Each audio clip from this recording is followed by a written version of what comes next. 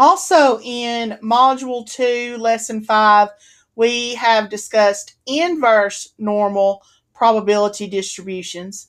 And we've taken a look at how to use the TI 8384 calculator to solve um, problems involving the inverse normal.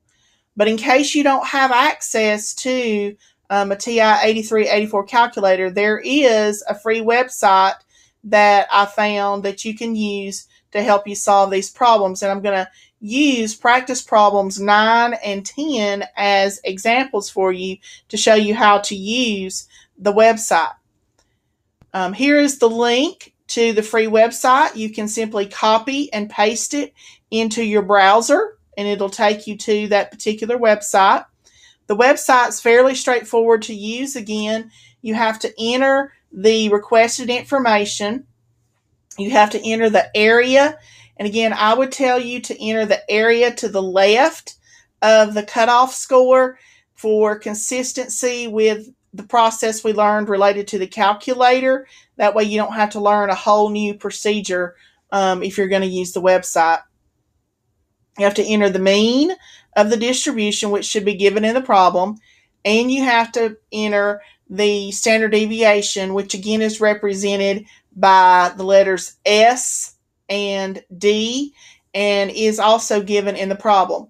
Again, for consistency and similarity to the calculator, I want you to choose below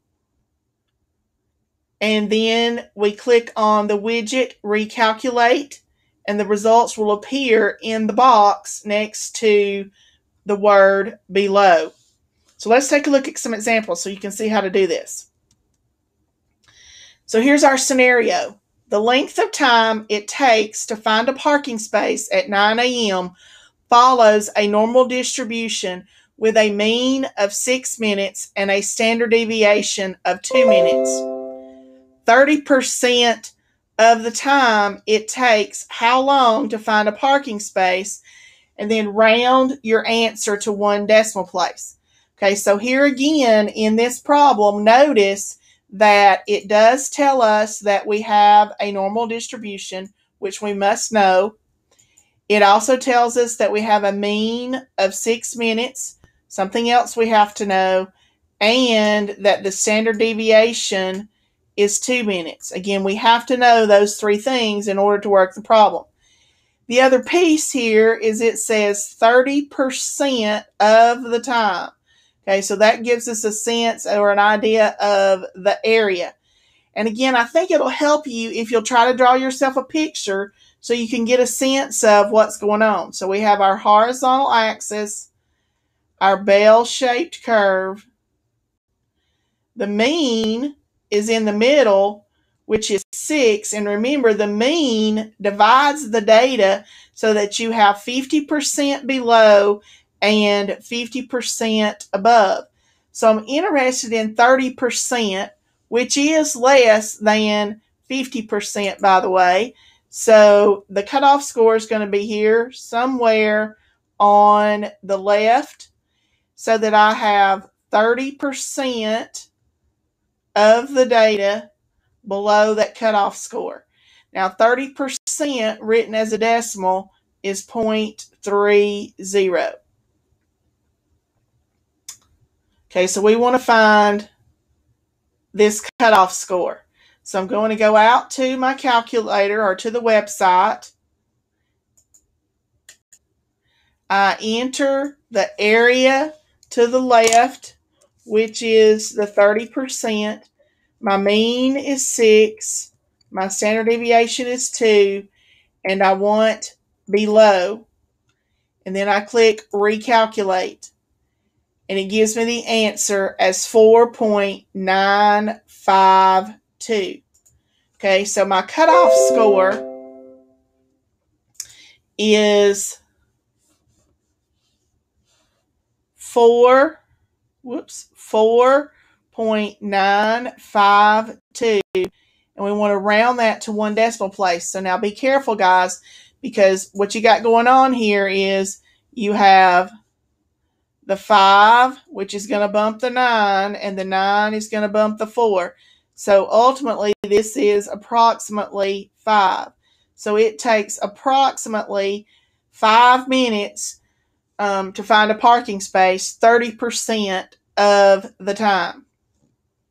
All right, let's look at another one. Same scenario. Again, we know that it is a normal distribution. We know the mean is six minutes. We know the standard deviation is two minutes. Now, if you read the question, it says 60% of the time it takes more than.